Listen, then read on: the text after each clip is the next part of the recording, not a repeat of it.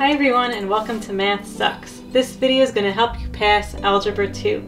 In this video we're going to go over how to use summation notation, otherwise known as sigma notation.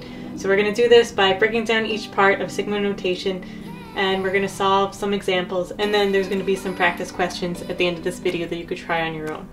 First let's just go over what summation notation even means and what it looks like. So all it is is it allows us to write a series in an easy and shorthanded way. So, so we're actually kind of learning about two different definitions here. We're, we're, learning, we're learning about summation notation, so that's what we see right here. This is summation notation. And then we're also learning about what a series is, which is kind of like, which you're already kind of familiar with. So if we, we've already done sequences. Uh, if you haven't yet, you could check videos on out on that. So, so now um, we just have this notation where we're we're like identifying the sum. So let's say we have this as arithmetic series, um, two, and we're adding two to each number. So we have 2, 4, 6, 8, 10. But now let's say we wanted to add all those numbers together, 2 plus 4 plus 6 plus 8 plus 10, and we could keep going. So that's kind of what summation notation can easily um, tell us to do. So we could easily write that in shorthand. So, so before we get into that, because that's a, a different kind of a more advanced topic, uh, let's first go get through this video. This is just on how to recognize what summation notation uh, is and how to calculate what it means. So, so we're just gonna identify each part of this notation right here. So if you notice, so this is our sigma, so that's when we know the sigma is gonna mean like the sum. The sigma is like the, the summation, the sum of this expression right here. So next we have these numbers above and below the sigma. So down here, this is kind of like our lower limit. So what that means is we're going to be taking every number starting at 1 and ending at 3, our upper limit, and plugging in each value for n. And then we're going to be summing those each together. So, so that means we're going to be plugging in 1 plus 1 and 2 plus 1 all the way up to 3 plus 1 because this is our upper limit. So we know that we're going to start here. It's kind of like our range. It gives us our guideline of what we're going to be summing. And then here on the right, this is just the expression we're going to be summing. So if this doesn't make sense, you know, don't worry too much. I think it's easy to pick up once you see an example. So here is our first example. And it says, evaluate the sum of n plus 1 from the value starting at 1 to 3. So this is the same example we were just looking at, but now we're actually going to solve it. So what that means, remember this is our lower limit. This is the upper limit.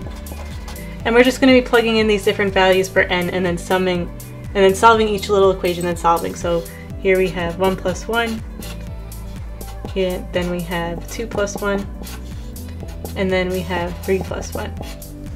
So notice, so when we say different values of n, notice we just plugged in, this is n over here, this is n equals 1, this is n equals 2, and then this is n equals 3.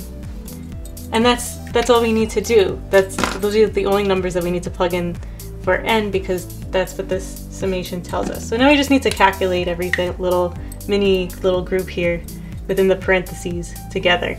So 1 plus 1 is 2, 2 plus 1 is 3, 3 plus 1 is 4, and then add these all together and we get 5 plus 4, which gives us 9. And that's our answer. So, so summation notation isn't hard. It's all about summing and arithmetic. The only thing is you just have to know how to read them, be aware of what is the lower limit and the upper limit, and what you need to plug in for n and these can be different values too. This could be a k and then you have a k here. So actually let's look at an example. I just mentioned that um, that involves k. So here's our next example. We're just going to do one more of these and it asks us to find the sum of 4 times 2 to the k for the values of k from 2 through 5. So right, these are, this is the lower limit and the upper limit for k. So when we do this, let's write like let's write all of this out. So we have 4 times 2, so this is to the k. But now we're actually, our range is going to start at 2. So here, we're going to plug in 2 for k. And this is like one little group, one little family. And now, for the next value of k, we're going to go to 3. So 4 times 2 raised to the third power. 4 times 2 raised to the fourth power. And plus 4 times 2 raised to the fifth power. So we stop at 5 because that is where our upper limit is at. And then again we could just um, calculate each little each little group and then add them all together. So you can use your calculator. So if you plug these into your calculator, this guy you're gonna get 16 plus 32 plus 64 plus 128. And when you sum these all together, you're gonna get 240. And that's our answer. So if you're looking for more, check out the practice questions right here. The answers are up on my blog, mathsux.org, and in the description below if you want to check those out. And if this video helped you, please give it a like and subscribe. Thanks for stopping by. Happy calculating!